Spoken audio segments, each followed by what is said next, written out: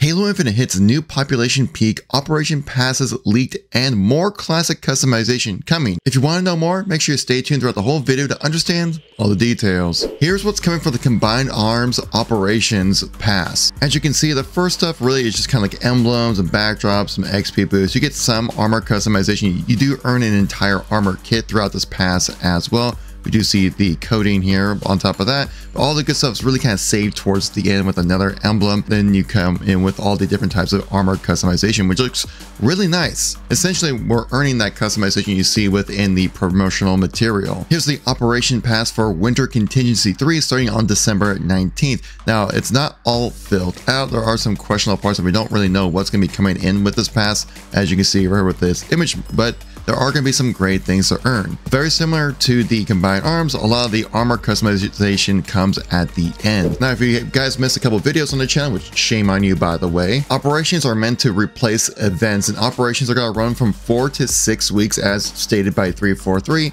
and they could be completely free for you to grind through to earn the 20 tiers. But there will be an extra paid premium option along with it, where if you drop 500 credits, you get the paid exclusive item that comes with the operation pass. We don't know what that is quite yet. But if you buy into these operation passes, they never expire. Where if you play for free, then once the event goes away, so does the pass permanently. By the way, did you know that 77% of the people who are watching this channel are not subscribed? So if you guys want to stay up to date with everything going on with Halo, you know what to do then. Keep in mind with the combined arms event, we are getting the Halo 3 refueled playlist, which brings back classic maps of Guardian, Construct, Blackout, The Pit, High Ground, Isolation, as well as Narrows, in a completely new map forged by Arthur Bloodshot, friend of the channel here by the way, called Critical Dew Point. There are going to be some really interesting Easter eggs as he told me about this map, so keep an eye out for it. I'm also assuming we'll see Firefight come in eventually, probably tied to these operations. Most likely if we're getting Halo 3 refueled with the launch of Combined Arms,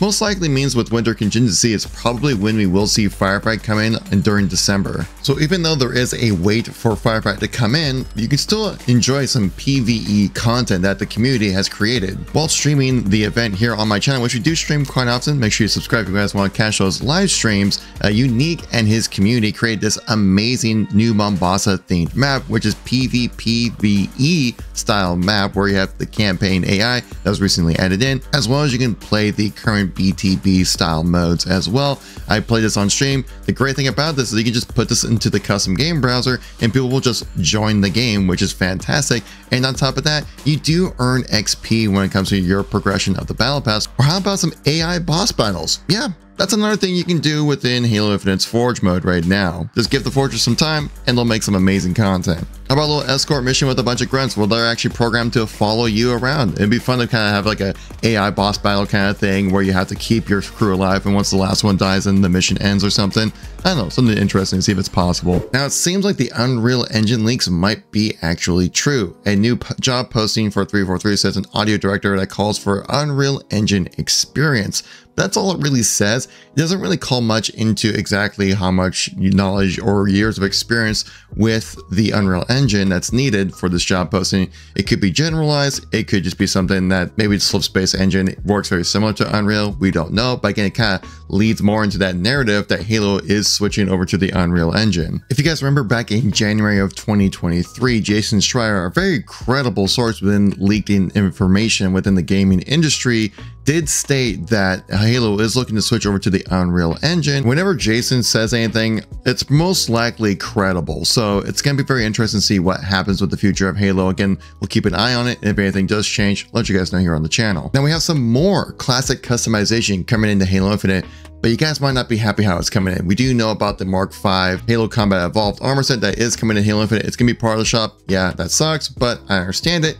We have some more stuff, and it's going to be part of the shop as well with the Halo Reach pilot helmet. If anyone's a fan of that one, this image was data mined right here, and you only ever see this type of image that's part of like the bundles that we see when it comes to the store. So we're probably gonna see this kind of customization tied to the store, which it's kind of a bummer in my opinion, as you know, we were able to unlock this by just gameplay back in Halo Reach. Of course, this was 13 years ago, but it is kind of a thing where like, man, we were able to have this as part of the game and now it's divided up. Obviously different game, different decade, yada, yada, yada, game, things change.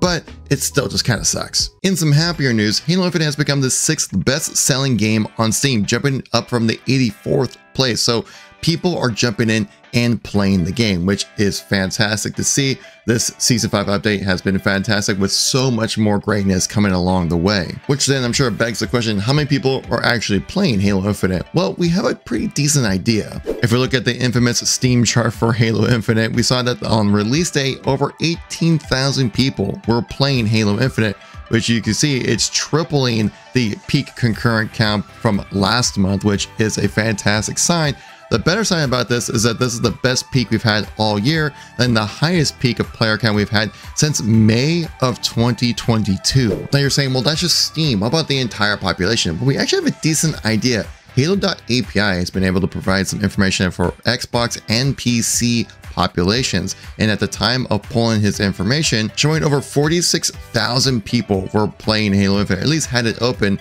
with 35,000 active fire teams. Effectively, 54% were in matchmaking, a 30% were in idle. A huge increase on population of custom games into 14%, only 2% of forgers, and basically no one playing the campaign. Highest population playlist, Ranked Arena again shows the top played playlist, with Forbidden and Prism being number two, and the lowest populations usually is Free For All match, which Free For All Slayer ended up being the lowest. This is fantastic to see that people are jumping back in to play Halo Infinite we might be back. Now I'll leave you guys with a leaked map we have not seen yet, which most likely will be coming into the game, and an interesting Easter egg on the new map Forbidden. Well, the multiplayer level designers shared their early build of Forbidden for Blogtober, which is a developer thing showcasing their early concepts of a lot of maps. Now, when I was looking at this, this looked very familiar to me, which is like, what am I thinking of? What am I remembering this from?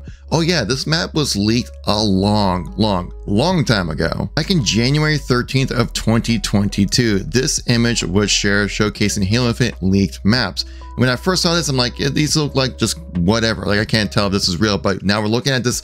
This is Crystal Caves.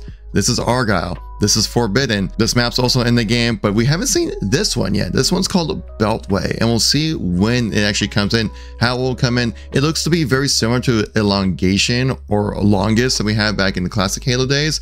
We'll see when this does come in. Again, this was leaked over a year ago now at this point, so things definitely are subject to change. It could have just been dropped completely, but this is just interesting to see that all those other maps did get put into the game. We'll see if this Beltway map makes it in. And if it does, or if seeing more information about it, I'll share with you guys here on the channel. Here's a fun little Easter egg on the map Forbidden here, which is very interesting. I don't know how they found out this or how we're able to break into it, but you can see using the Spartan scan, they're able to break their way into the map in some capacity to find the golden sandwich that's in this game, which is just absolutely hilarious that this is something and you can actually pick it up which i don't remember that being an actual thing. So this is a fun little easter egg within the map forbidden. Thank you all for watching i'll catch you on the next one. Peace out